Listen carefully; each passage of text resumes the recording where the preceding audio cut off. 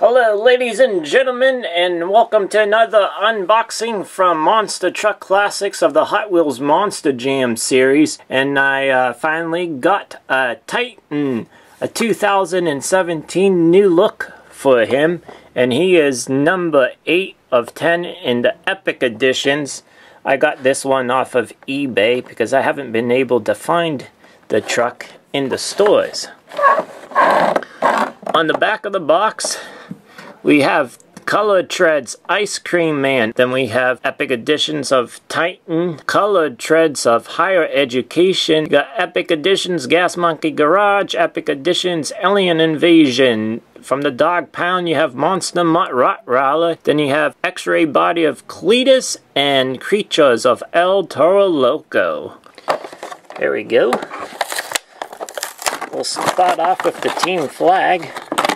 And I really like the uh, Team Flag series because it's something that you can put on the truck. Everything else is like nothing that you can put on the truck. So the Team Flag there you have Titan with the Hot Wheels logo. Here in what 2018 I have some 2018 unboxings already and they have that recrushable car there's Titan on the other side with some flames and the Monster Jam logo. Now, onto the truck.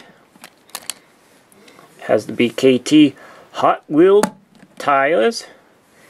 Nice looking black and yellow flamed body of Titan.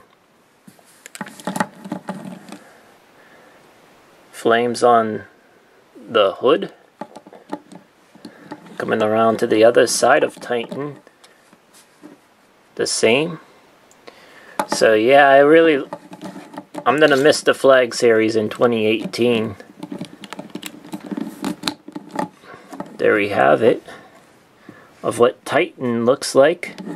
And I probably wouldn't have gotten this one right here this Titan of the team flag if I knew that they were going to come out with this black version.